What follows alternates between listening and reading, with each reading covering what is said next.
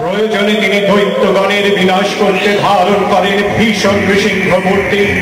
কখনো মহাবজ্র রূপিণী তিনি ঐন্দ্রী কখনো তিনি উগ্রা শিবদূতি কখনো নিমন্ড মালিনী চামুন্ডা তিনি আবার তমময়ী নিয়তি। এই বহু রূপিণী মহাশক্তি পরমা প্রকৃতির আবির্ভাব হবে।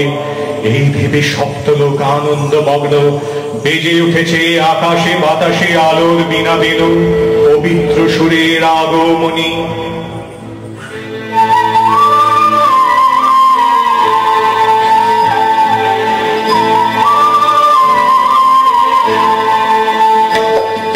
মা